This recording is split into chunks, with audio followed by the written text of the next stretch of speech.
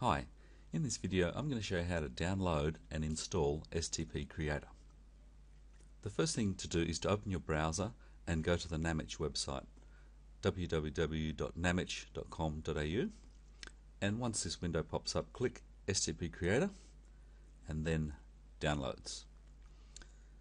Click this black download button and if you look in the bottom left hand corner you'll see it's now downloaded and if you're using Chrome you'll you can click on this uh, down button and click show in folder.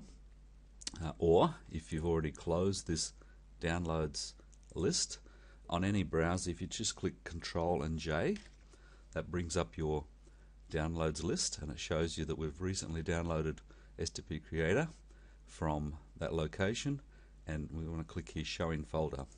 That'll open up our downloads default download location and you'll see STP Creator just here. And you can see I've downloaded STP Creator set up twice here. So we're just going to double click on this and run. You need to have administrator privileges to install STP Creator. And the first thing you'll see is this security warning saying the publisher could not be verified. Are you sure you want to run this? Just click run. STP Creator needs a redistributable, Microsoft redistributable installed and if it hasn't been installed on your system you'll be prompted to install it so you must click install. Although you can't see this on the video I've got a user account control pop-up saying do you want to allow the following program from an unknown publisher to make changes to this computer? So I'm going to click yes.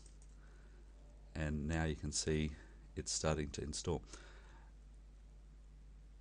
On some systems you may get this message saying that the installation of the redistributable appears to have failed. Do you want to continue?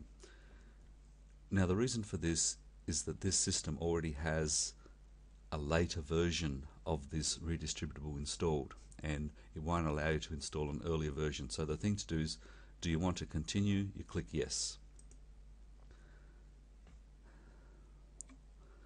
Okay, you can see it starting to do its thing and when you get to this point you've got to click next. Um, on here you need to read and uh, agree to the license terms. Click next. This is the default location and we just recommend using that so click next and then install.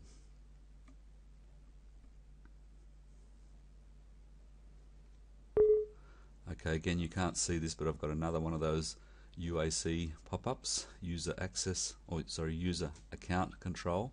Do you want to allow the following program to make changes? I just click yes, and off she goes. Installation wizard is completed. Do you want to launch? So I'm just going to tick, tick this. There'll also be an icon on your desktop for STP Creator, and you can launch it from there as well. So I'm just going to click Finish. I'm just going to close these screens and as you can see STP Creator is now running and it starts off in demo mode. In the next video I'll show you how to register STP Creator.